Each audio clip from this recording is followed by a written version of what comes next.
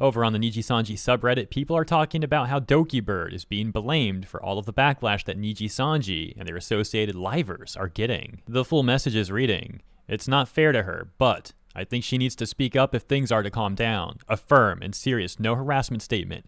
People are hurting. Fans of hers are hurting. People are using her for ill will. She can't just move on and ignore it. I'm sorry. As well as this message, which reads She shouldn't have to say it because no creator should be solely responsible for their community. But if her face and name are used like that, doubling down hard on no harassment is necessary to deter further doxing, harassment, and threats. A top comment pointing out how Doki herself has already told people not to harass anyone, and how she and most of her fans have already moved on. Further pointing out that they haven't seen any direct harassment to the currently active livers, and at worst they're getting clowned on on Twitter, in large part due to their own responses to trolls and bait comments. However, someone else on Reddit here in the comments does still try to put the blame on Doki. You can see the full comment here, and in my opinion, it's a foolish stance to take. The fact of the matter is that the Nijisanji situation has proliferated so much across the entire internet that it's far beyond any sort of responsibility of Doki's, and trying to put any blame on her for things that she's not responsible for and that are far beyond her control is, like I said, in my opinion, a foolish stance to take. Yesterday, we talked about how Wilson of Nijisanji was also hit with a community note. And this tweet from one of the most infamous Nijisanji defenders attempts to put the blame for that community note